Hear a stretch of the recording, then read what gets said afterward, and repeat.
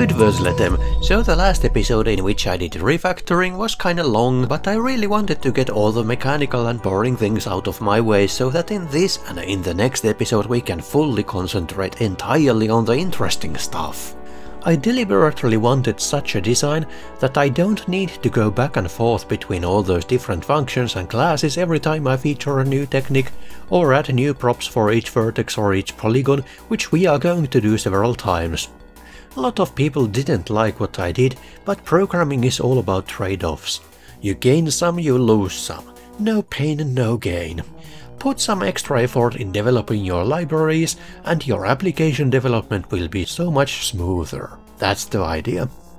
As I promised the last time, the first thing that was removed in this episode was the add cuboid thing, and I will replace it with new level map creation functions. Let me explain how this works. As I explained earlier, the only thing that we can render is convex polygons. This means that our scene can only consist of convex polygons. For example, look at this surface. You might be tempted to generate a single polygon for this surface and it would look like this. But remember what I said earlier about convex polygons in the Doom-style 3D engine video? Imagine a rubber band stretched over all the corners of this polygon. Let's represent the convex hull with a red line. It would look like this. Notice that this line did not go through these two points. That's because these two corners are concave, not convex. Therefore, this is not a valid convex polygon. However, you can synthesize arbitrary polygons from convex polygons by subdividing. We could divide the surface into three polygons like this. That's one option. Another option would be to divide the surface into two polygons. Naturally, the fewer polygons you get, the better rendering performance you are going to get, so you should not get too jealous with the subdivision. Only subdivide as much as needed to get totally convex surfaces. Now let's take a look at the other surfaces. This is how we could subdivide some of the visible surfaces into convex polygons. However, there is another issue. Look at this corner here. The OpenGL standard only guarantees that two adjacent polygons are rendered without gaps if they share the exact same end vertices. My engine shares that same limitation. Here the polygon in the back has a corner vertex that is not shared by the polygon in the front. To make them share the vertex, we have to subdivide the polygon in the front. The same goes for this corner here. The polygon in the back must be subdivided too. If we go through all the colored polygons in the view and identify corner vertices, here is what we would get. Oh, by the way, some of you might think that we could just make one big surface of this back wall. You know this rectangular wall. Here is the thing, there is nothing behind this wall. There is literally nothing there. The big wall does not extend behind that surface, and it is intentionally so. I could have designed it differently of course, but in my opinion it is not worth it to create geometry that the computer might have to render before it discovers that oh no, it is not actually visible. It's simply better to not have anything there in the first place. One more thing that I should have mentioned about refactoring. In this series I have constantly exposed you to the process of refactoring the code. This is in stark contrast to some of my old videos on my channel, such as the NES emulator, where all the refactoring happened off-screen and what you saw on the screen was the finished product after countless hours of condensing the design to near optimal density. I thought I should mention that. But this is a series which is being developed at almost the same rate as I am making these videos, so I don't have the luxury of perfecting the design in advance.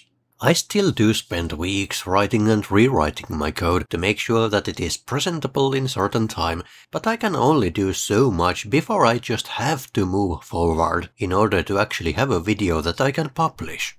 So the code on the screen.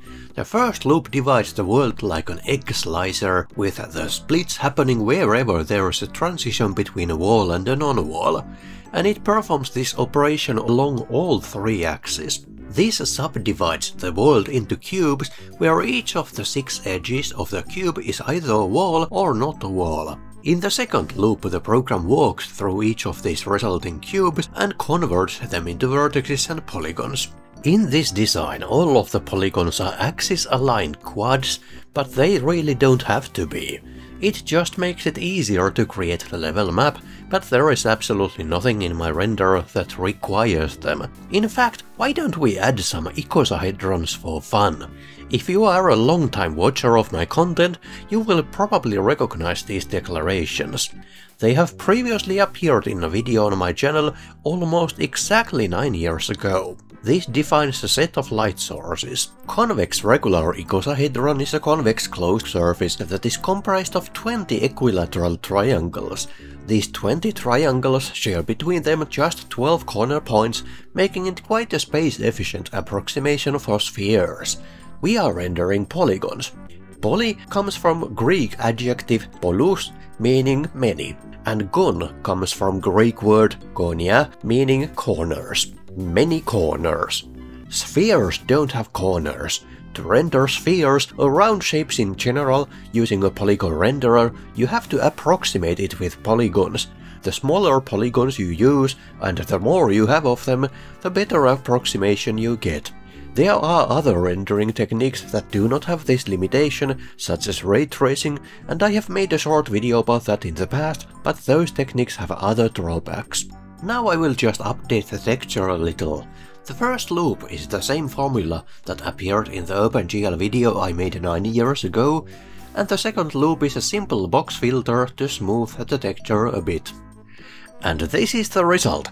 There is some complex geometry with loops and occlusions and stuff. Look, here is one of those icosahedrons that I added. However, it is completely grayscale, just like everything else in this scene, because I made everything using a single texture. These are actually supposed to be colored. One possible way would be to give each surface a different texture. However, here is what I did instead. Each corner in my polygon contains 8 props, the world coordinate which is x, y and z, the u and v coordinates which are for the texture, and finally three integers, the red, the green and the blue multipliers. This makes a total of 8 props. Here the red, green and blue multipliers are 1, so that's not very interesting, but here's the light sources. Again they have the world coordinate, x, y and z, then the u and v coordinate, which this time just contains some dummy integers, and finally the color, which is picked from the second element in the L variable. This L variable comes from the lights array. The lights array contains two three-element vectors.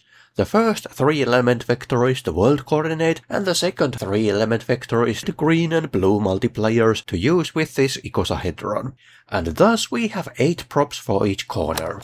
Now let's take a look at the pixel plotting function. This function returns the color to render at any given pixel. The first parameter it receives is a reference to the polygon. From the polygon it retrieves information such as the bounding box of the texture in order to do texture wrapping correctly. The next three parameters are ignored. I used the word auto here so that under no circumstances the compiler will generate type conversions for these parameters that we totally ignore. They are the screen x and y coordinate of the polygon and the depth z coordinate. The next two parameters are the u and v coordinates for the texture, and whatever comes after that, the function just ignores. Well, what actually comes after that are the red, green and blue color multipliers, that is, the remaining three props from the corner. In order to utilize them, we need a function that decomposes the RGB color into its constituent parts, and a function that composes the parts back into an integer. Then the task is multiplying the texel with those RGB factors. And there we go. The icosahedrons now each have their own colors, as we can see if we fly around a bit and have a wider look. But you know what? We just effectively added per pixel shading. You know what else we can do with this technique with almost no effort at all? The third prop is the z-coordinate. If we make the pixels darker when the z-coordinate gets bigger, we get depth shading. Suddenly the picture becomes very three-dimensional from just these four lines of code that I changed. Another thing that we could possibly do is fog. Instead of interpolating towards black, we can interpolate towards some particular color, such as the murky cyan color from Valve's Source engine. The possibilities are endless. For artistic purposes you could try a number of different colors. Fog and depth fading are very useful, especially if you have a back clipping plane. It nicely obscures the edge between rendered and not rendered, which is probably why Valve loves it so much. The next thing we could try is change the color of the vertices themselves. For starters, let's give each polygon a different color that is derived from the world coordinate. Translate the x, y and z coordinates into red, green and blue values. And we get this.